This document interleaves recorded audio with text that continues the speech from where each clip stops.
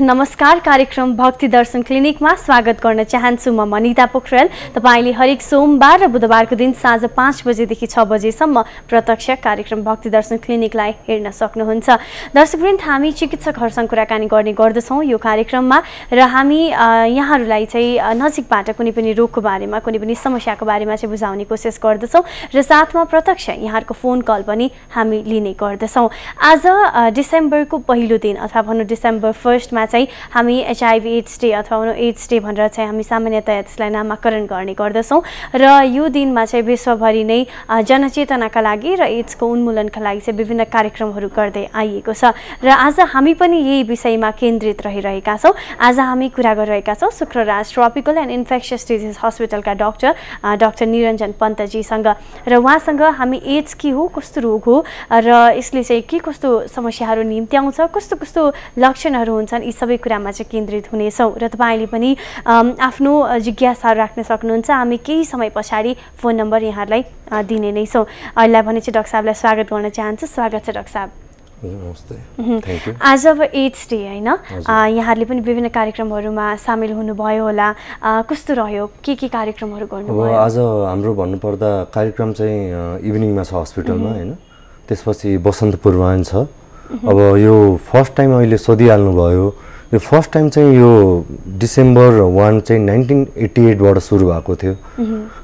AIDS day भनेर मनाउनलाई चाहिँ। त्यस बेलादेखि नै यो हजुर त्यसपछि चाहिँ अनि सुरु भएको हो। यो चाहिँ डक्टर मान भन्ने उहाँबाट चाहिँ सुरु गरेको हो यो प्रोग्राम चाहिँ। एड्स एचआइभी एड्स भनेर चाहिँ अब हामीले धेरै तरिकाले बुझ्छौँ होइन? एउटा डेफिनेसन यसको पर्टिकुलर पक्कै पनि छ। तर एकजना चिकित्सक हुनुभएको हिसाबले चाहिँ सबै जनमानसले बुझ्ने तरिकामा चाहिँ कसरी बुझाउनुहुन्छ के हो यस्तो अब भन्नुपर्दाखेरि मान्छेले पहिला चाहिँ यो एचआइभी चाहिँ हाम्रो नाइन्टिन एट्टी टूमा चाहिँ नाइन्टिन एट्टी टूमा चाहिँ यसलाई एचआइभी भनेर नामाकरण गरियो होइन? यो चाहिँ ह्युमन ह्युमन इम्युनोडेफिसियन्सी भाइरस हो। तर एड्स भनेको चाहिँ एचआइभीले गर्ने चिज हो। एक्वाइड इम्युनोडेफिसियन्सी इम्युनोडेफिसियन्सी सिन्ड्रम हो। जुन चाहिँ एचआइभीले गराउँछ। होइन यो चाहिँ नाइन्टिन एट्टी सिक्समा गएर चाहिँ चेन्ज भयो। त्यसपछि भन्नुपर्दाखेरि चाहिँ यसको चाहिँ फ्यामिली चाहिँ जान्छ तपाईँको चाहिँ रेट्रो भाइरसमा जान्छ र यो चाहिँ त्यसपछि जेनस चाहिँ सरी अनि फ्यामिली चाहिँ लेन्टी भाइरसमा जान्छ। किनभने लेन्टी भनेको अर्थ चाहिँ एकदम लङ पिरियडसम्म चाहिँ थाहा नहुने हो। त्यसरी चाहिँ नामाकरण गरिएको यसलाई चाहिँ। त्यसरी बुझ्न सक्छौँ हामीले। जस्तो अब एड्स भन्ने बित्तिकै एउटा भयावह रोग हो भन्ने खालको बुझिन्छ होइन। तर के हो हामीले चाहिँ पहिले सतर्क भयौँ भने डराउनु पर्ने अवस्था छ या छैन? कस्तो कसरी बुझ्न पहिले सतर्क भनेको चाहिँ एउटा पहिला पनि यस्तो स्लोगनहरू आएको थियो be smart and test yourself भनेर होइन। किनभने आफ्नो स्ट्याटस आफूलाई थाहा भएको राम्रो हो। जति हामीलाई थाहा हुन्छ जुन एउटा प्रोग्राम आउनु लाग्छ लाइक टु थाउजन्ड थर्टीमा चाहिँ इन्डेमिक जुन छ यसलाई हटाउन पाऊँ भन्ने कुरा छ हाम्रो होइन? किनभने अब आजकल धेरै किसिमले गर्दाखेरि फैलिरहेको हुन्छ थाहा हुँदैन। यो कुराहरू ट्रेस गर्न सकिँदैन जति सक्दो हामीले कोसिस गरे पनि है? त्यसले गर्दाखेरि चाहिँ अब जुन कुरा भन्नुभयो अब भयानक भनेर चाहिँ भयानकै हो। सपोज कसैलाई लाग्छ जसलाई पर्छ होइन उसलाई नै थाहा हुन्छ। खुकुरीको पिर यो अचेनले जान्दैन भने जस्तै कुरा हो कि? त्यस्तै हो। जस्तो हामी एड्स डे भन्ने बित्तिकै रेड रिबन रेड ब्याच लगाउँछौँ होइन तपाईँले पनि लाउनु भएको छ।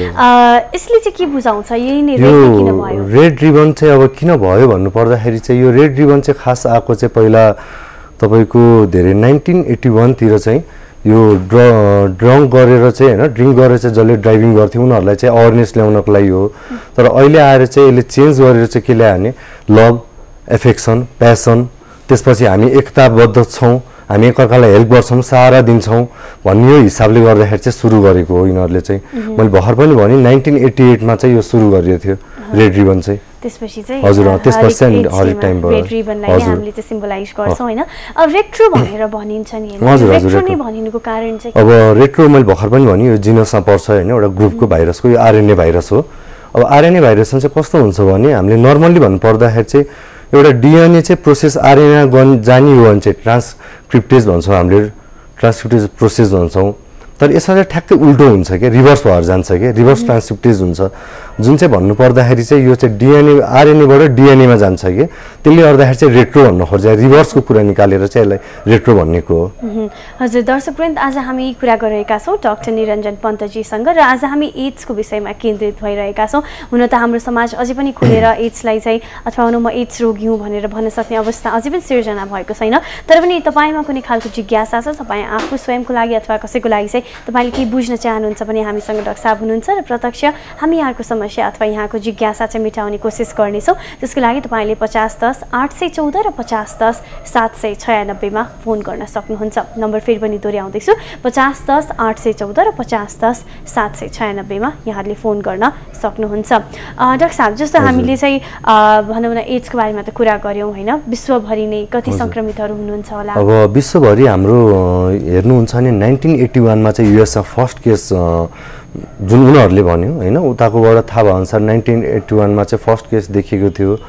अब त्योभन्दा अगाडि चाहिँ नाइन्टिन फिफ्टीमा चाहिँ कङ्गोमा देखेको एउटा स्याम्पलको कुरा छ तर हामीले हेर्नुपर्दा नाइन्टिन एट्टी वानकोतिरबाट जाउँ त्यसमा चाहिँ अहिलेसम्मको हेर्ने हो भने थर्टी फाइभ मिलियन पिपुल चाहिँ सङ्क्रमित छन् यो रोगबाट है।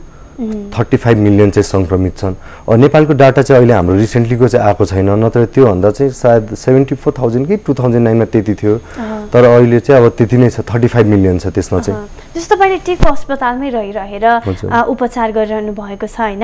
कति केसेसहरू भेटिन्छ होला नि? यसो हजुर। टेन्टेटिभली भन्नुपर्दाखेरि त्यसरी भन्नुपर्दाखेरि चाहिँ हाम्रो रेजिस्टर केस चाहिँ टेकुमा चाहिँ एआरटी सेन्टरमा चाहिँ three thousand two hundred four छन्। त्यसमा चाहिँ एराउन्ड थर्टिन हन्ड्रेड। तेह्र सयजना जति चाहिँ एक्टिभ पार्टिसिपेन्ट छन् उनीहरू आउँछन् चेकअप गराउँछन् होइन। थ्री हन्ड्रेड समथिङको चाहिँ डेथ भइसकेको छ। अनि वान थाउजन्ड सिक्स हन्ड्रेड जतिलाई चाहिँ हामीले चाहिँ ट्रान्सफर आउट भन्छौँ कि उनीहरूलाई जहाँ सजिलो पर्छ त्यतातिर पठाउने गरेको छौँ। एआरटी सेन्टरको बारेमा भन्नुभयो नेपालमा कतिवटा जति एआरटी सेन्टर अब अहिलेभन्दा सायद एक दुई वर्ष अगाडिसम्म चाहिँ चौवालिसवटा जिल्लामा थियो। अहिले उनीहरूले इन्क्रिज गरेर चाहिँ चौवन्नवटा जति गराएको छन्।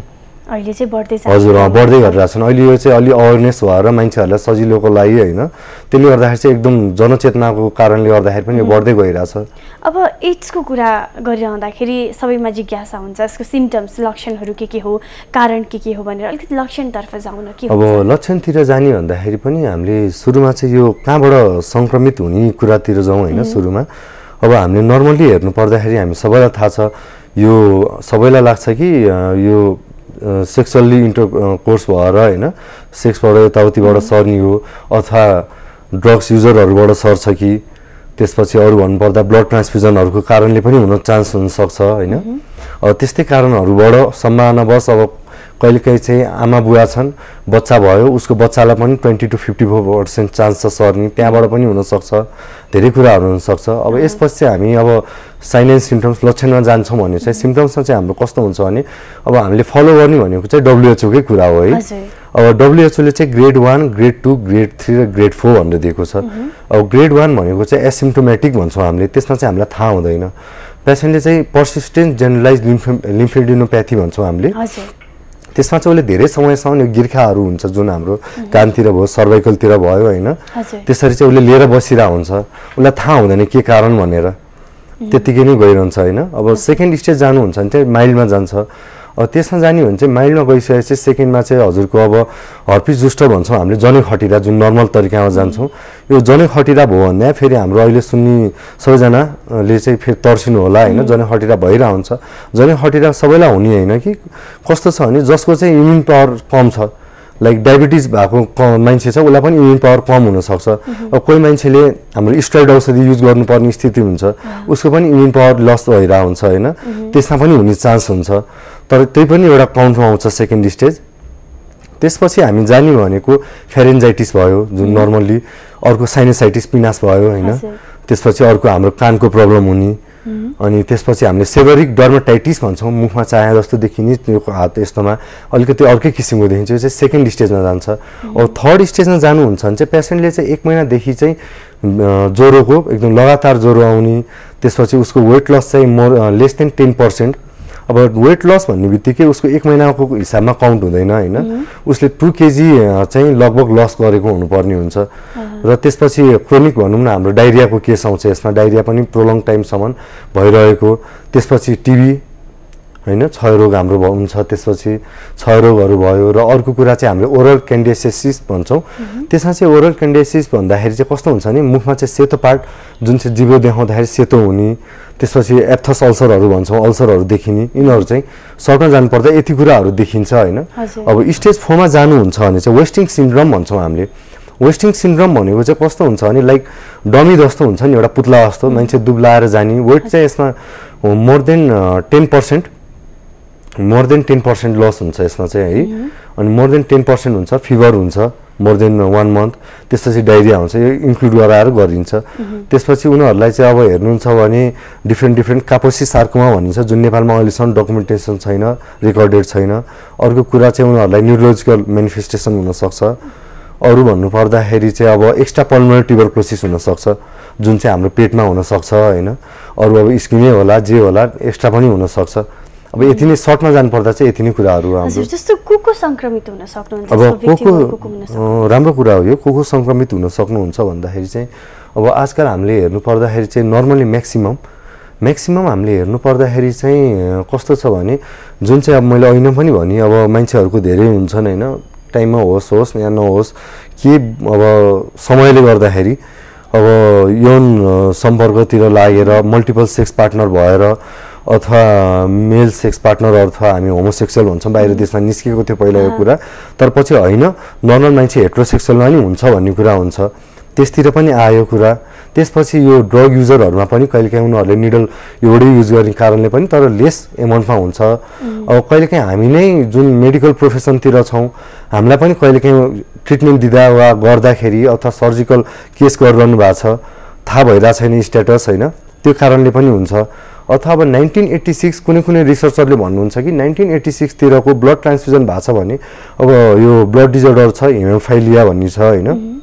त्यो टाइममा चाहिँ ब्लड ट्रान्सफ्युजन जसले गरेको छ उनीहरूले एकचोटि आफ्नो स्ट्याटस चाहिँ थाहा भएको राम्रो हो भन्ने कुरा छ। र अनि बाहिर माइग्रेन्टहरू जो बाहिर जानुहुन्छ। त्यो बेलामा चाहिँ ब्लड ट्रान्सफ्युजन भयो होइन? अहिले आएर। असर गर्न सक्छ? यो मैले भने नि यो एकदम लेन्टी ऊ हो कि? टाइम धेरै लाग्छ। लाइक भनौँ दस वर्ष एघार वर्ष बाह्र वर्ष लाग्ला होइन? थाहा हुँदैन। त्यो हिसाबले भन्नु खोज्नु भएको अनुसार चाहिँ अब उहाँहरूलाई अपर्चुनिस्टिक यो अप अपर्चुनिस्टिक इन्फेक्सन हामीले जुन भन्छौँ त्यो कारणले गर्दाखेरि हुनसक्छ होइन? तर एकचोटि स्ट्याटस चाहिँ थाहा भएको राम्रो यदि हुनुहुन्छ भने कोही चेक गराएको। हामी थप कुराकानी गर्दै। जाँदैछौँ अहिलेलाई भने चाहिँ हामी कार्यक्रममा विश्रामतर्फ लाग्दैछौँ। विश्रामपछिको समयमा फर्केर आउने नै छौँ। कार्यक्रम भक्ति दर्शन क्लिनिकलाई हेर्दै रहनुहोला।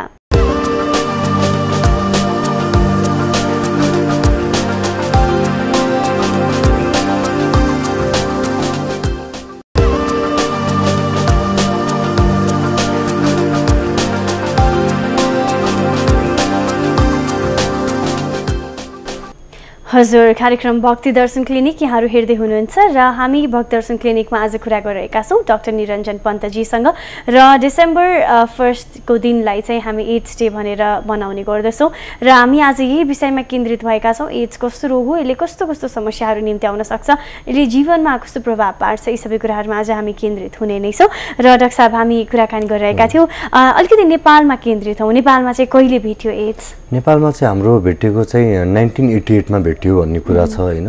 फर्स्ट टाइम देखा परेको चाहिँ नेपालमा चाहिँ नाइन्टिन एटी एटमा हजुर। त्यसपछि कस्तो भयो? जस्तो नेपालमा भनौँ न अब के भयो होला? हजुर नाइन्टिन एट्टी एटमा देखा परेपछि अलिकति यसको सङ्क्रमण चाहिँ बिस्तारै बढ्दै जान थाल्यो होइन। अब हामीलाई पहिला पनि थाहा छ कि हाम्रो नेपालको चेलिब्रेटीहरू म्याक्सिमम् इन्डियातिर बेचबिखन हुन्थे होइन। उताबाट बेचबिखन भइसकेपछि चाहिँ अब कस्तो छ भने हाम्रो पनि अहिले टेकु हस्पिटलमा देख्छौँ त्यस्तो केसहरू। एचआइभी पोजिटिभ देख्यो अनि उनीहरूले रिटर्न ब्याक गरिदिन्छन् त्यसपछि। अब रिटर्न ब्याक गरिदिइसकेपछि त्यो सङ्क्रमित केसहरू बढिरहेको हुन्छ मान्छेले खुला रूपमा चाहिँ आफूलाई भन्न चाहँदैन म सङ्क्रमित छु भनेर। अहिले पनि त्यो अप्ठ्यारै छ होइन। बिस्तारै यो रेसियो बढ्दै बढ्दै गइ नै रहेछ कि?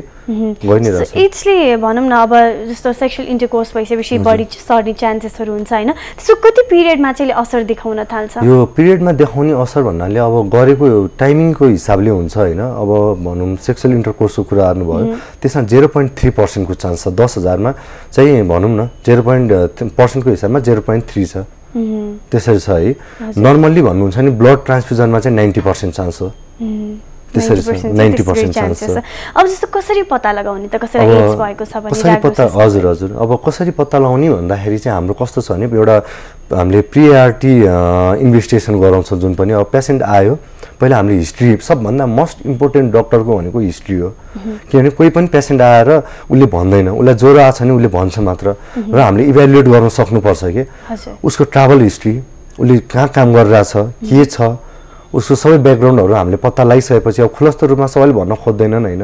अब कहिलेकाहीँ कस्तो सिचुएसन पनि क्रिएट हुन्छ भने म बसिरहेको छु म सँगसँगै अब अरूहरू पनि कहिलेकाहीँ इन्टर्नहरू हुन सक्लान् होइन? अरू अब कोही स्टुडेन्टहरू हुन सक्छन्। अब त्यत्तिकै अब कहिलेकाहीँ ढोका ओपिडीमा ओपन हुन्छ होइन? अब त्यसमा आफूले चाहिँ एनालाइज गर्न सक्नुपर्छ र अलिक विचार पुऱ्याएर चाहिँ त्यो बन्द गराइदिएर मान्छे हिचकिचाएको देखेर पनि अलिकति प्राइभेसी मेन्टेन गरिदिनुपर्छ र उसलाई आश्वासन दिनुपर्छ क्या? किनभने यो कुरा भनेको कस्तो हुन्छ भने डक्टरको इथिकमा पेसेन्ट र डक्टर बिच चाहिँ एउटा चाहिँ जहिले पनि कन्फिडेन्सियल चाहिँ हुन्छ नि कि? उहाँ पेसेन्टहरूले नभन्जेसम्म हामीले चाहिँ कसैलाई पनि भन्दैनौँ। उहाँको चाहिँ अब ब्लड रिलेसन छ भने भन्नै जरुरी छ भने चाहिँ जस्तै श्रीमान हुनुहुन्छ उहाँको वाइफलाई भन्न जरुरी छ। किनभने उहाँको पनि त सङ्क्रमित हुन सक्नुहुन्छ। अब त्यो केसमा चाहिँ हामी जान सक्छौँ। अब जस्तै भन्नुभयो अब हामीले पेसेन्ट आयो उहाँहरूले चाहिँ सोध्छौँ होइन। हिस्ट्री लिँदै जाँदाखेरि अब उहाँले भन्नुभयो म बाहिर गएको थिएँ यस्तो यस्तो थियो यताउति थियो। म इक्जाम्पलमा भनौँ अब अहिले धेरै हाम्रो देखिने भनेको इन्डिया नै भनौँ न इक्जाम्पलमा दिँदा। इन्डिया गएको थिएँ यताउति काम गर्नलाई यति वर्ष बसेर आएको। मलाई बिचमा टिभी पनि भयो अथवा मलाई केही रोग लाग्यो मलाई धेरै ज्वरो भइरहेको थियो। अनि अहिले पनि त्यस्तै छ त भन्ने कुरा निस्किँदै जाँदाखेरि चाहिँ कस्तो हुन्छ भने उहाँहरूले खुलस्त रूपमा भन्नै खोज्नुहुन्न कि अब मेरो यस्तो कोहीसँग शारीरिक सम्पर्क थियो यो थियो भन्नै खोज्नुहुन्न। तर त्यही हो कि अब हामीले काउन्सिलिङ गर्दा गर्दा उहाँहरूलाई बुझाउन सक्यौँ भने चाहिँ उहाँले भनिदिनुहुन्छ। अब त्यतिकै पनि हामीले कहिले पनि डाइरेक्ट पनि पेसेन्टलाई एचआइभी टेस्ट भनेर हामीले पठाउँदैनौँ। उहाँहरूलाई नभनिकन। उहाँहरूलाई नभनिकन चाहिँ हामीले टेस्ट पठाउँदैन अब जुन सोध्नुभयो टेस्टको कुरामा चाहिँ अब जाउँ होइन। टेस्टको कुरामा जाँदाखेरि चाहिँ हामीले फर्स्टमा जाने भनेको चाहिँ हामीले एउटा नर्मल टेस्ट पठाउँछौँ हामीले। यो सिबिसीहरू भन्छौँ कम्प्लिट ब्लड काउन्टहरू होइन एनिमिया सेनिमियाहरू पत्ता लगाउनलाई एनिमियाहरूको कुरामा। एलएफटी यो लिभर फङ्सन टेस्ट कतिको छ त्यसपछि आरएफटी रेडन कन्डिसन कतिको छ। है। त्यो सबै गरिसकेपछि हामीले अब मेन फोकस दिने भनेको चाहिँ हामीले चाहिँ ऱ्यापिड टेस्ट गराउन सक्छौँ जुन टेन मिनटमा रिजल्ट आउँछ। अब त्यो ऱ्यापिड टेस्टमा पनि हामीलाई कहिले काहीँ कन्फ्युजन हुनसक्छ होइन। अब त्यो ऱ्यापिड टेस्टमा पनि कहिले काहीँ कन्फ्युजन हुने कारणले गर्दाखेरि चाहिँ हामीले चाहिँ एलाइजा टेस्ट पठाउँछौँ एचआइभी वान र एचआइभी टू एचआइभी टू चाहिँ नेपालमा सायद मलाई जहाँसम्म लाग्छ एक एउटा केस देखा पर्या भन्ने छ मलाई स्योर पनि छैन होइन। हजुर। एचआइभी टू चाहिँ यो होइन ननिस्केको भएर मैले भनिदिएको। एचआइभी टू चाहिँ वेस्ट अफ्रिकामा देखिएको छ है केस चाहिँ। एचआइभी वान चाहिँ म्याक्सिमम् हाम्रो यतातिर हो। अनि त्यही हिसाबले चाहिँ हामी एलआइजेमा जान्छौँ। अनि त्यसपछि गइसकेपछि मेस्ट यो मेन भनेको चाहिँ कन्फर्मेटिभ टेस्ट भनेको चाहिँ वेस्टर्न बल्ड टेस्ट हो। त्यसपछि चाहिँ अरू टेस्ट भनेको चाहिँ डिएनए पिएचसिआर टेस्ट गराउँछौँ र पी ट्वेन्टी फोर एन्टिजेन गराउँछौँ। यति टेस्टहरू गराउँछौँ हामीले। यो सबै टेस्टहरूको चाहिँ रिलेटेड छ कि? जुन यो मेन टेस्ट यिनीहरू भयो र अरू टेस्ट भनेको चाहिँ अब पेसेन्ट एचआइभी पोजिटिभ देखियो। हामीलाई थाहा भयो। अब हामीले उसको स्ट्याटस हेर्नलाई चाहिँ अब औषधि चलाउने नचलाउनेतिर चाहिँ हामीले बुझ्न सिडिफो काउन्ट भन्ने पनि गराउँछौँ। त्यसपछि भाइरल लोडहरू चाहिँ पछिको कुराहरू हो यिनीहरू नै गराउँछौँ हामीले चाहिँ साधारण। न तपाईँ यो प्रश्न सोध्न कतिको जायज हुन्छ तर जस्तो तपाईँहरूले अब चिकित्सकको हिसाबले उहाँहरूको ब्लड टेस्ट गर्न पठाउनुहुन्छ होइन? अनि उहाँहरूले जब थाहा पाउनुहुन्छ नि मलाई एड्स भएछ भनेर कस्तो खालको रियाक्सन देख्न सकिन्छ उहाँमा अँ, यो धेरै कुराहरू छ जस्तै हाम्रो अरू डक्टर साहबहरू पनि हुन्छ बाहिर जिल्लामा काम गर्नुभएको छ होइन? अब उहाँहरूले चाहिँ अब कहिलेकाहीँ कस्तो हुन्छ भने पेसेन्टलाई धेरै टाइम दिनै पर्ने जरुरी हुन्छ कि? किनभने एउटा मान्छे जसले एचआइभी थाहा भयो फर इक्जाम्पल मलाई नै थाहा भयो भने मलाई पनि एकदम छानाबाट खस्या जस्तो हुन्छ। ल अब के गर्ने भनेर। कति मान्छेले सुसाइड एटेम्प गर्न खोज्छन् होइन? धेरै कुराहरू हुन्छ। कतिले गोप्य रूपमै राख्न खोज्ने हुन्छन् होइन? फ्रस्ट्रेसन डिप्रेसन झन् अल्कोहलिक हुन थाल्ने ड्रग युज गर्न थाल्ने धेरै कुरातिर जान्छ। त्यसले गर्दाखेरि चाहिँ हामीले चाहिँ कस्तो नि पेसेन्टलाई काउन्सिलिङ गरिसकेपछि जुन हामीले रिपोर्ट हुन्छ नि पेसेन्टलाई हामीले डाइरेक्ट दिँदैनौँ। त्यो रिपोर्ट लिनलाई चाहिँ हामीले चाहिँ एआरटी सेन्टरै पठाउँछौँ। त्यहाँ गइसकेपछि चाहिँ उहाँहरू त्यहाँबाट जान मिल्दैन कि। अनि उहाँहरूलाई चाहिँ हामीले सम्झाउँछौँ यस्तो हो भनेर। किनभने नर्मल्ली मेरो विचारमा चाहिँ अब पहिला पहिला भन्नुहुन्छ भने मान्छेलाई चाहिँ एउटा भनाइ थियो कि जसलाई चाहिँ यो प्रेसर हामी भन्छौँ नि प्रेसर छ। उसलाई मेडिसिन सबै थाहा छ भन्ने कुरा चाहिँ किन प्रेसरमा पनि सबै कुरा भएपछि डिजिज धेरै लाग्छ होइन प्रेसरले गर्दाखेरि पनि। प्रेसरको पनि त निर्मूल गर्ने औषधि छैन नि होइन? औषधि खायो लाइफ प्रोलङ गर्ने हो। डायबिटिजको पनि त्यही नै हो। डाइट मेन्टेन गर्छौँ डिसिप्लिन भन्छौँ होइन? ड्रग्स भन्छौँ रोग उपचार। उपचार त्यही नै हो होइन? अनि अहिले आएको पेसेन्टलाई चाहिँ हामीले यही नै काउन्सिलिङ गर्छौँ कि यो दुइटा डिजिजलाई राखेर यस्तै नै हो यो पनि।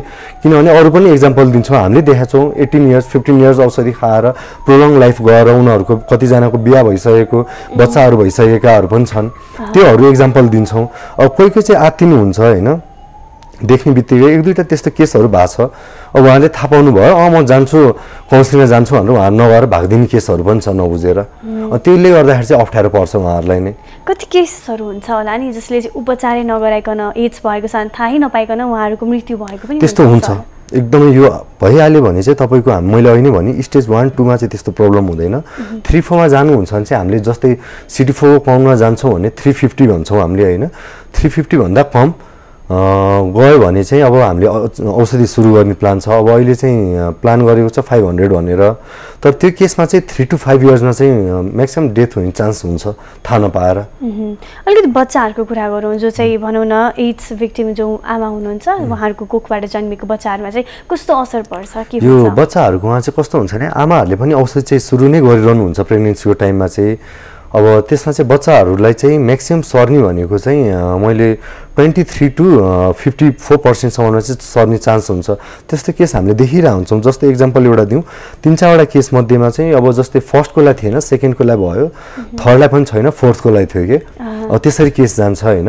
अब बच्चा जन्मिने बित्तिकै बच्चालाई चाहिँ नेभिरापिन भन्ने हामीले औषधि चाहिँ सिक्स विकसम्म चाहिँ सिरपको उसमा चाहिँ खानिदिन्छौँ अनि त्यसपछि चाहिँ हामीले चाहिँ बाल विशेषज्ञहरू उहाँहरूसँग कन्सल्ट गराउन लाउने अब गाइनिकोलोजिस्टहरू हुनुहुन्छ हाम्रो डक्टर साहबहरू उहाँहरूसँग रिफर गराइदिन्छौँ होइन के गर्ने भनेर। अब सबैको आफ्नो ब्रान्च हुन्छ त्यो अनुसार हामीले गराउँछौँ। एउटा सामान्य गर्भवती महिला र एड्स लागेको गर्भवती महिला हुनुहुन्छ नि उहाँहरूले चाहिँ त्यो आफ्नो समस्या बियर गर्न सक्ने भनौँ न एउटा क्यापेसिटी कतिको हुन्छ? उहाँहरू अलिक सामान्य छ सामान्य हुनुहुन्छ भने उहाँहरूलाई त्यति गाह्रो नपर्ला तर हाम्रो एउटा प्रब्लम के छ भने सोसाइटीको चाहिँ जहिले पनि अब मैले हस्पिटल नै वाच गरेर हुन्छु हस्बेन्ड वाइफ हुनुहुन्छ भने अब हस्बेन्डकैबाट सरेको छ वाइफलाई भने पनि त्यो वाइफलाई चाहिँ अवहेलना गरेको देखिन्छ।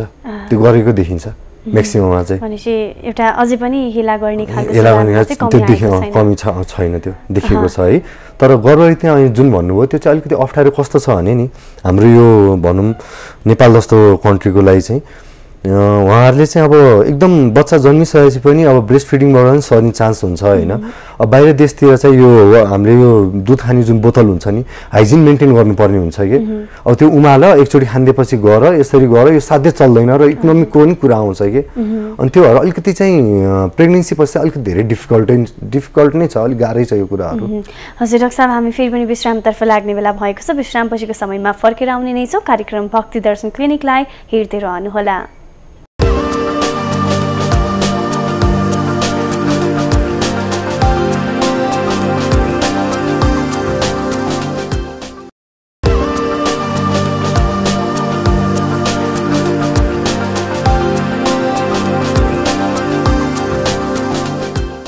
हजुर भक्ति दर्शन क्लिनिकलाई हेरिरहनु भएको छ र आज डिसेम्बर फर्स्टको अवसर पारेर हामीले चाहिँ एड्स डेमा केन्द्रित भएर डाक्टर निरञ्जन पन्तजीसँग कुराकानी गरिरहेका छौँ र फेरि पनि कुराकानीलाई अगाडि बढाउँ। डाक्टर साहब यहाँ चाहिँ अब टेकु अस्पतालमा कार्यरत हुनुहुन्छ होइन? त्यहाँको अवस्था कस्तो छ? कस्तो कस्तो सुविधा पाउनुहुन्छ? बिरामीले त्यहाँ जानुभयो भने। हामीले यस्तो छ अब टेकु हस्पिटलमा चाहिँ हाम्रो जुन हामीले सङ्क्रमित केसहरू नै आइपुग्यो भने होइन? हामीले उहाँहरूको लागि चाहिँ एआरटी सेन्टर भनेर छुट्टै राखिदिएको छौँ ओपिडीमा किनभने ओपिडीमा उहाँहरूलाई पनि राख्थ्यो भने टाइम लाग्छ होइन? त्यसले गर्दाखेरि चाहिँ उहाँहरूलाई जति जे टेस्टहरू गर्नुपर्ने हुन्छ त्यो चाहिँ सबै सरकारले चाहिँ भनौँ न फ्री नै गरेको छ। भन्नाले पनि एएचएफले फ्री गरेको हो। है? अनि त्यसमा पनि अब हजुरले हेर्नुहुन्छ भने चाहिँ कस्तो छ भने अब हाम्रै हस्पिटलमा एडमिसन हुन्छन्। पेसेन्टलाई जस्तै अब उनीहरूलाई टिबी लाग्न सक्छ अथवा कुनै निमोनिया हुनसक्छ अथवा डाइरिया भयो त्यो चाहिँ हाम्रो सबै टेकु अस्पतालले नै बिहोर्छ। त्यो सबै औषधि उपचार सबै हामीले नै बिहोर्छौँ। भनेपछि बिरामीले चाहिँ ढुक्क भएर अस्पताल जान सक्नुहुन्छ। टेकु अस्पतालमा ढुक्क भएर आउन फाइनेन्सियल बर्डन होला भनेर सोच्नु फाइनेन्सियल। बर्डन जस्तो अब बिरामीहरूले आइसकेपछि हुन त यो कुरा अघि पनि उठाइयो कतिको खुलेर आफ्नो समस्या राख्नुहुन्छ। खुलेर यस्तो छ हेर्नु। अब हामी गयौँ भने होइन कोही कोही चाहिँ बिरामी यस्तोसम्म हुनुहुन्छ कि होइन मलाई लागेको छ भोलि अरू कसैलाई नलाओस् भनेर उहाँहरूले चाहिँ होइन बसिराख्दा भोलिन्टियरहरू नै हुनुहुन्छ उहाँहरूले खुलेर रूपमा भनिदिनुहुन्छ बुझाउन खोज्नुहुन्छ। होइन यस्तो छ उस्तो छ भनेर। अब जस्तै हामी एआरटी सेन्टरमा बस्दाखेरि नै म एआरटीमा बस्यो भने म कहिलेकाहीँ पेसेन्टको कतिको ऊ फोकस छ त आफ्नो उसमा कति छ भनेर मैले चाहिँ अब क्रस क्वेसन सोधिदिन्छु। अब केही प्रब्लम छ भन्नु भने उहाँहरूले होइन छैन छैन भनेर आत्तिने कोही खालको हुनुहुन्छ। अब कसैलाई चाहिँ अब पहिला तपाईँको सिटी फोर काउन्ट कति छ भन्यो भने मलाई याद छैन भन्नुहुन्छ। द्याट मिन्स उहाँहरू त्यति कन्सर्न भइरहनु भएको छैन होइन। त्यो भएर म सम्झाउँछु कि आफ्नो सिटी फोर काउन्ट याद गर्नु। किनभने त्यति हुनुभयो भने तपाईँलाई आफूलाई कतिको के छ कस्तो छ के छ सबै थाहा हुनुपर्छ होइन? त्यो कुराहरूलाई चाहिँ अलिक केन्द्रित गर्नुपर्छ। उपचार चाहिँ के कसरी गराउन सकिन्छ? अब उपचार चाहिँ हामीले चाहिँ हेर्नु अहिले मैले भने हामीले नर्मल यो टेस्टहरू गरेर पठाउँछौँ होइन? त्यसमा सबै कुराको रिलेटेड छ। सबै हामीले प्रिआरटी होइन मैले कुरा निकाली चाहिँ इन्भेस्टिगेसन पठाउँछौँ सिडी फोर काउन्ट हेर्छौँ सिडी फोर काउन्टको आधारले चलाउँछौँ। स्टेज वान र टू छ भने हामीले औषधि चलाउँदैनौँ। हामीले कोट्रिम कोट्रिमेक्सोजोल भन्छौँ ब्याक्ट्रिम डिएस भन्छौँ होइन। त्यो औषधले चाहिँ प्रिभेन्सनको रूपमा मात्र थ्री फिफ्टी छ भने त्यो चाहिँ चलाएर राखिरहन्छ सरी थ्री फिफ्टीभन्दा माथि छ भने एचआइभी देखियो भने चाहिँ चलाउँछौँ। स्टेज वान र टूमा चाहिँ। अब थ्री फिफ्टीभन्दा लेस छ भने चाहिँ हामीले के गर्छौँ भने अब त्यो अनुसारले चाहिँ औषधि चलाउँछौँ। अब यही सन्दर्भमा जानुहुन्छ भने फर्स्ट आएको चाहिँ पत्ता लगाएको यो एन्टिरेट्रोभाइरल ऊ चाहिँ औषधि चाहिँ जिडोभुडिन हो है। फर्स्ट टाइम पत्ता लगाएको चाहिँ जिडोभुडिन हो। अब त्यसपछि चाहिँ अहिले हाम्रो चाहिँ एचएआरटी भन्छौँ हार्ट भन्छौँ हामीले। यो चाहिँ हाइली एक्टिभ एन्टिरेट्रोभाइरल थेरापी भन्छौँ। हामीले चाहिँ यसमा कम्बिनेसनमा तिनवटा औषधि युज गर्छौँ हामीले चाहिँ। रोकथाम पनि यही नै हो रोकथाम भन्नाले चाहिँ हामीले चाहिँ यसलाई चाहिँ फर्दर उनीहरूको चाहिँ अब भनौँ न प्रोसेसको लागि जस्तै अरू सङ्क्रमित नहोस् अरू नबढोस् भन्ने हिसाबले चाहिँ त्यसको लागि अब थाम्न चाहिँ नभनौँ अब एउटा चाहिँ उनीहरूको सिडिफो काउन्ट चाहिँ राम्रो भयो भने इम्युन पावर बलियो हुन्छ होइन। त्यसको लागि चाहिँ हो यो चाहिँ। अघि यहाँले जस्तो सरकारले चाहिँ उपचारको निशुल्क नै व्यवस्था गरेको छ। औषधि पनि यही नै हो। औषधि चाहिँ। औषधि जस्तो यस्तो हुन्छ हेर्नु। औषधि हाम्रो टेकु हस्पिटललाई अब सरकारले कति दिएको छ के दिएको छ र के सुविधा दिएको छ हामीसँग भए चाहिँ हामीले सबै गर्छौँ। अब सिटी स्क्यान भन्नुहुन्छ भने टेकुसँग छैन। अब त्यो पनि भइदिएको हुन्थ्यो होला होइन। अरू ब्लड टेस्ट भयो यताउति भयो यो सबै चाहिँ अब निशुल्क नै छ। हामी हाम्रो तर्फबाट मात्र नभएर पनि अब एएचएफ भयो एनसिएससी भयो होइन डिफ्रेन्ट डिफ्रेन्ट अर्गनाइजेसन छ उनीहरूको आधारबाट पनि सबैबाट हेल्प भइरहेछ हामीलाई। हुन सबैभन्दा ठुलो कुरा त प्रिभेन्सन हो पहिले नै पूर्व तयारी अपनाउनु राम्रो हो। तर पनि उहाँहरूले अब जब औषधि सेवन गर्न थाल्नुहुन्छ नि। त्यसपछि चाहिँ उहाँहरूको लाइफस्टाइलमा अथवा औषधिले चाहिँ कतिको महत्त्वपूर्ण भूमिका अब खेल्छ यो औषधिको चाहिँ हामीले चाहिँ काउन्सिलिङ गर्छौँ होइन औषधि गर्दाखेरि साइड इफेक्ट हुनेहरू। हामीले औषधि कहिले पनि एकैचोटि सुरु गरिहाल्दैनौँ। हामीले फोर्टिन डेजको रूपमा हालेर होइन सुरु गर्छौँ। चौध दिनमा उहाँहरूलाई गरेपछि हामीले फेरि एकचोटि रिपिट टेस्ट गराउँछौँ। अब औषधिको साइड इफेक्ट हुन्छ होइन? अब नेभा नेभिरापिन दिनुहुन्छ भने अब त्यसमा चाहिँ हेपाटोटोक्सिटी गराउने हुन्छ। अब कोही पेसेन्टलाई ब्याट्रिम चलाइरहनु भएको छ भने उनीहरूलाई एलर्जी हुने चान्स हुन्छ। अब कोही पेसेन्टले इफाभिरिन खाइरहेछ भने चाहिँ साइकोलोजिकल इफेक्ट हुन्छ। अब कोही पेसेन्ट पहिलादेखि नै साइकोलोजिकल प्रब्लम छ फेनाटोइन खाइरहेछ भने चाहिँ उसलाई झन् प्रब्लम ड्रग इन्ट्रेक्सन हुने चान्स हुन्छ। अब कोही पेसेन्टले टिबी आ लिएर आएको छ मैले अघि नै बिर्सेँ होइन। टिबी पनि हामीले चाहिँ यो जाँच गराउँछौँ मैले भनेको थिएँ स्पुटमहरू टेस्ट पनि गराउँछौँ सबै गराउँछौँ कि। एउटा रुल आउटै गर्छौँ हामीले सबै। त्यो अनुसारले चाहिँ औषधिको चाहिँ अब अहिले भन्नु पर्दाखेरि चाहिँ नर्मल्ली हामीले पेसेन्टको चाहिँ स्ट्याटस हेरेर कुन औषधि चलाउने भन्ने कुरा हुन्छ हामीले चाहिँ। तर कम्बिनेसनमा चाहिँ हामीले तिनवटा औषधि चलाउँछौँ नर्मल्ली कोही एड्स भिक्टिम हुनुहुन्छ भने चाहिँ उहाँहरूलाई चिकित्सकले परिवारले साथीभाइले कस्तो सहयोग गर्नुपर्छ कस्तो व्यवहार गर्नुपर्छ। अब सहयोग भन्नाले पनि यस्तो हुन्छ। म्याक्सिमम् मान्छेले चाहिँ आफ्नो हामीले नै भन्नु पर्दाखेरि चाहिँ अब एचआइभी देखिहाल्यो भने हामीले पहिला सोध्छौँ नै त्यहीँ। को हुनुहुन्छ उहाँ भनेर।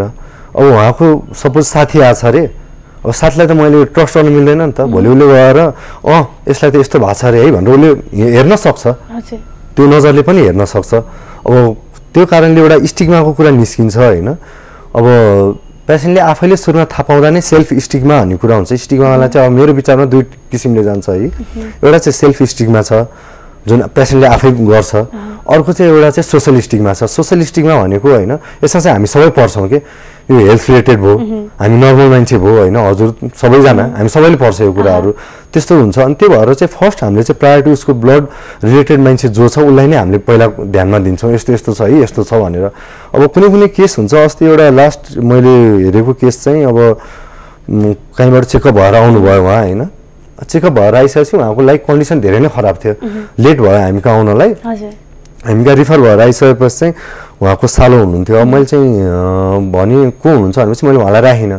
वाइफ कहाँ हुनुहुन्छ भन्दा विराटनगरमा भन्ने कुरा निस्केपछि मैले भने बोलाउनु। भनेर भने मैले थाहा दिन खोजिनँ। अब हुन त लगभग त्यहाँ बसेपछि मान्छेलाई थाहा हुने स्वाभाविकै हो। तर बोलाइसकेपछि चाहिँ अब कस्तो भने उहाँको वाइफलाई पनि थाहा हुन जरुरी थियो।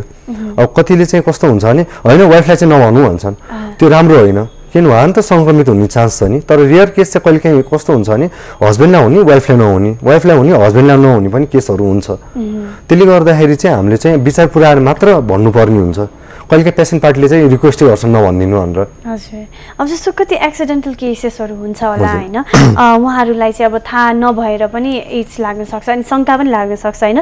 त्यो बेलामा चाहिँ त्यो अवस्थामा उहाँहरू कति टाइम कति टाइम ड्युरेसनभित्र चाहिँ अस्पताल पुगिसक्नुपर्छ? अब यस्तो हुन्छ राम्रो क्वेसन हो यो।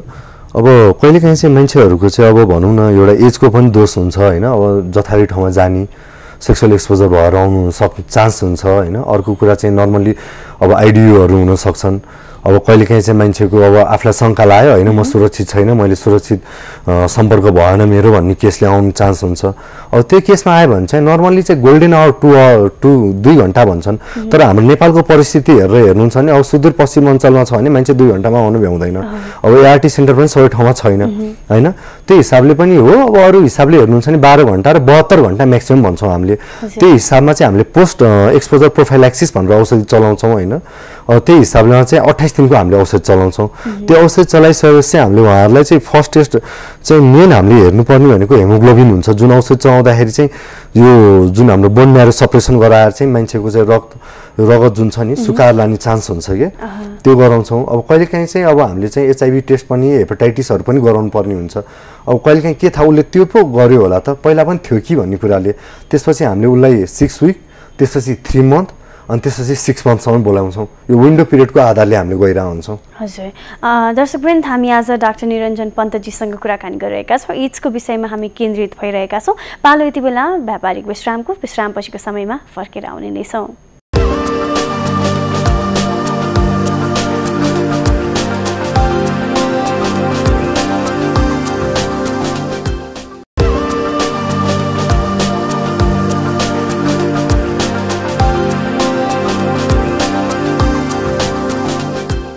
हजुर तपाईँ धर्म संस्कृति र संस्कारको सम्भाग भक्ति दर्शन टेलिभिजनलाई हेर्दै हुनुहुन्छ र कार्यक्रम हो भक्ति दर्शन क्लिनिक हरेक सोमबार र बुधबारको दिन साँझ पाँच बजेदेखि छ बजीसम्म प्रत्यक्ष हेर्न सक्नुहुन्छ।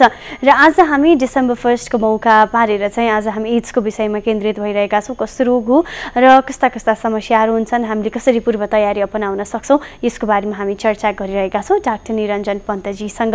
र डाक्टर साहब हामी फेरि पनि कुराकानीलाई अगाडि बढाउने क्रममा छौँ र नेपालबाट बाहिर जाने धेरै चेलीहरू हुनुहुन्छ। अलिकति यो कुरा अगाडि पनि आयो होइन?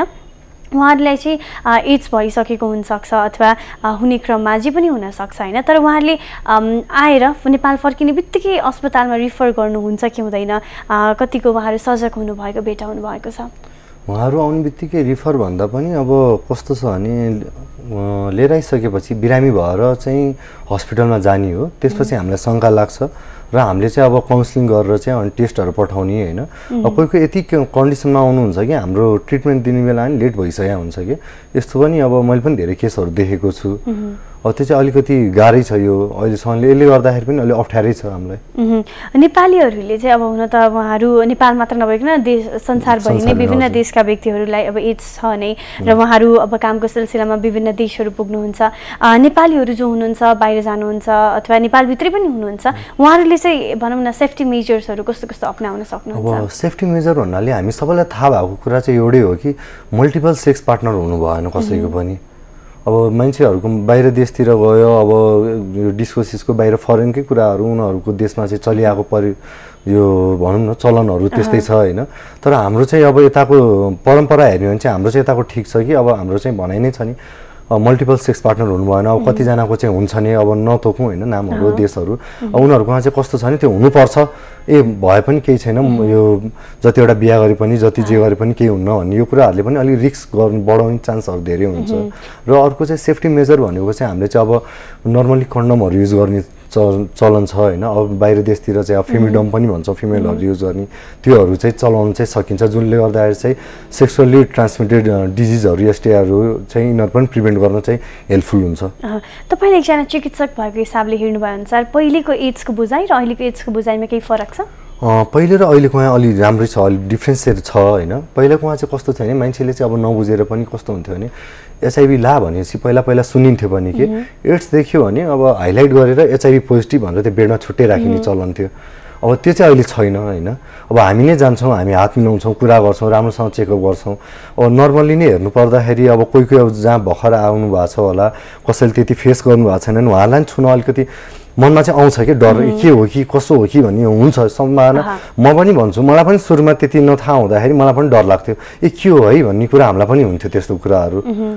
एचडीको अवसरमा केही वर्ष यता एउटा थिम नै राखिएको छ ब्रिङिङ टु जेरो भनेर होइन? अनि क्लोजिङ ग्याप भनेपछि यो वर्ष जोडिएको पनि छ। त्यो मोटो थिमको बारेमा नि यो ब्रिङिङ टु जेरो चाहिँ भन्नु खोजेको चाहिँ डिस्क्रिमिनेसन जुन भइरहेछ भेदभावलाई त्यसपछि न्यू डिजिज नआओस् भन्नलाई र अनि त्यसपछि डेथ अरू नहोस् भन्ने हिसाबले गर्दाखेरि हो होइन। अब जुन क्लोजिङ ग्यापको कुराहरू भयो यो चाहिँ यो वर्ष चाहिँ एड गरेको हो होइन। यो क्लोजिङ ग्याप चाहिँ कस्तो भन्नु खोजेको भने चाहिँ सबैले अब ट्रिटमेन्ट पाइरहेको छैन। यो सबै ठाउँतिर लगौँ र प्रिभेन्सन रोकौँ र ट्रिटमेन्ट पाऊँ भन्ने कुराले चाहिँ यसलाई क्लोजिङ ग्याप भन्न खोजेको हो।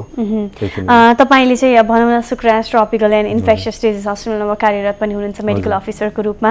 अब आजकै विशेष दिनको अवसर पारेर चाहिँ हाम्रा सम्पूर्ण दर्शकहरूलाई के सन्देश दिन चाहनुहुन्छ? सबैलाई चाहिँ म के भन्न चाहन्छु भने होइन अब आउने जेनेरेसनको लागि चाहिँ प्रिभेन्ट गर्नलाई चाहिँ आफ्नो पार्टनर होस् या जे होस् एकचोटि चाहिँ टेस्ट सबैले गराउँदाखेरि केही पनि फरक पर्दैन होइन। टेस्ट गराएको राम्रो हो। मान्छेले टेस्ट गराउन एचआइबी जाँदामा नेगेटिभ नजरले हेर्छ भन्ने कुरा छैन। किनभने आफ्नो स्ट्याटस थाहा हुनु नै आफू स्मार्ट हुनु हो र नेक्स्ट अब आउने जेनेरेसनमा चाहिँ यसले गर्दाखेरि कमी हुन्छ। जुन चाहिँ हाम्रो टार्गेट राखिएको छ कि इन इन्डेमिक चाहिँ टु थाउजन्ड थर्टीसम्ममा चाहिँ कम गराउने इन्डेमिकलाई चाहिँ भन्ने कुरा छ। अब जाँदा जाँदै हुन त हामीले अघि। कुरा गऱ्यौँ एड्स कसरी सर्छ भनेर। कसरी चाहिँ सर्दैन ताकि एकअर्का बिच आत्मीयता रहिरहोस्? कसरी चाहिँ सर्दैन। अब कसरी सर्दैन भन्नु पर्दाखेरि चाहिँ त्यही कुरा नै आउँछ। कसरी सर्दैन भन्दाखेरि चाहिँ हामी सबैले चाहिँ अब आफ्नो स्ट्याटस थाहा हुनु पऱ्यो एक त। अर्को कुरा चाहिँ अब मैले अहिले भनिहालेँ मल्टिपल सेक्स पार्टनरहरू हुनु भएन। अब चिकित्सकहरूलाई चाहिँ कस्तो हुन्छ भने अब सर्जिकल केसमा है उहाँले चाहिँ कहिले काहीँ अब अपरेसन गर्दाखेरि यताउति काहीँ मिस्टेकली चाहिँ अब भइहाल्यो पेन्ट्रेसन भयो अब केही भयो निडल प्रिक भयो भने त्यो केसमा चाहिँ अब रिक्स हुन्छ। हामीले त्यसमा नै मैले भनिहालेँ पिइपी युज गर्छौँ है। अर्को एउटा कुरा चाहिँ अब भन्नु पर्दाखेरि हामीले चाहिँ काउन्सिलिङ पनि गर्छौँ। कहिले काहीँ अब टेको हस्पिटलमा आउनु भएको छ उहाँहरूलाई चाहिँ हाम्रो हस्पिटलमा उपचार हुँदैन भने उहाँहरू जाने हिचकिचाउनुहुन्छ कि? होइन हामीलाई अरू ठाउँमा त्यति राम्रो हुँदैन भनेर मैले के भन्छु भने होइन गएर भन्नु। त्यस्तो नजरले कसैले नै हेर्दैन। भन्नुभयो भने राम्रो हो। किनभने उहाँले भन्नुभयो भने खुला रूपमा उहाँलाई त त्यही अब कस्तो हुन्छ नि कहिले काहीँ उहाँलाई गर्नुपर्ने र अरू पेसेन्ट नर्मललाई गर्नुपर्नेमा डिफ्रेन्ट हुन्छ होइन? त्यो तरिका डिफ्रेन्ट हुन्छ प्रोसिडियरहरू अब त्यसपछि स्टरलाइज गर्नुपर्ने हुन्छ सामान। अब कोही चुप लाएर उहाँहरूले डरले चुप लाएर गइदिनु भयो भने त त्यसले गर्दा नि सङ्क्रमित बढ्दै जान सक्छ। त्यही भएर चाहिँ सबैलाई इक्वल नजरले हेर्नुपर्छ र यो स्टिगमा हटाइदिनुपर्छ कि। मेरो चाहिँ त्यही भेदभावलाई। अन्त्य नै गरिदिनुपर्छ। हुन्छ डाक्टर साहब यहाँसम्म आइदिनु भयो व्यस्तताको। बावजुद पनि यहाँलाई धेरै धेरै धन्यवाद. हजुर आज हामीले कुरा गऱ्यौँ डाक्टर निरञ्जन पन्तजीसँग जो चाहिँ Shukraraj tropical and infectious disease हस्पिटलमा मेडिकल अफिसरको रूपमा कार्यरत हुनुहुन्छ र आज हामीले एड्स डीको अवसर पारेर चाहिँ हामीले एड्सको बारेमा कुराकानी गऱ्यौँ एचआइभी पोजिटिभ एचआइभी एड्सको बारेमा कुराकानी गऱ्यौँ र पक्कै पनि यसबाट लाभ उठाउनु भयो होला भन्ने हामी चाहिँ आशा राख्दछौँ र आजको लागि भने चाहिँ कार्यक्रम भक्ति दर्शन क्लिनिकबाट म मनिता पोखरेल लगायत हाम्रो सम्पूर्ण टिमलाई बिदा दिनुहोस् भन्दै बिदा माग्छु। नमस्ते।